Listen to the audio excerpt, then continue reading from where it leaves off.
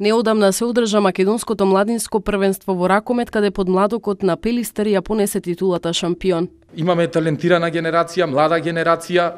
Успеавме ова година да ја вратиме шампионската титула во Битола после неколку години, да е, имам е, младите вредно тренират, работат, задоволни сме со со овај успех што го постигнаја ова ова година да се биди пред Вардар и пред Металург на вистина една голема работа. Капитенот истакна дека и понатаму ќе се борат за повисоки титули.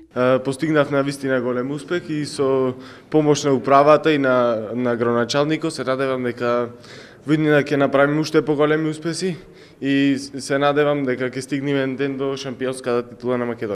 Градоначалникот Талески на денешната средба истакна дека и натаму согласно законот ќе го помагаат клубот и финансиски, но и на други начини. Другите клубови кои што исто така се многу важни и во моментот може би се подобри од ракометниот клуб Пелистер, Исто имаат младински екипи, меѓутоа нивните деца се од различни места.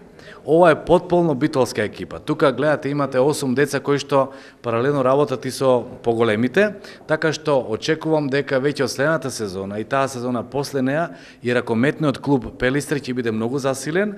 Убеден сум дека ќе најдеме заеднички начин со управата на ракометниот клуб да најдеме нови можности да ги подобриме условите, затоа што ако нешто на вистина многу брзо и многу ефикасно може да се вивни во спортските врвови, тоа е сигурно ракометниот клуб Пелистер. Се под името на Битола, максимално ќе направиме за овие деца да останат тука и се разбира да го слават името на нашиот град.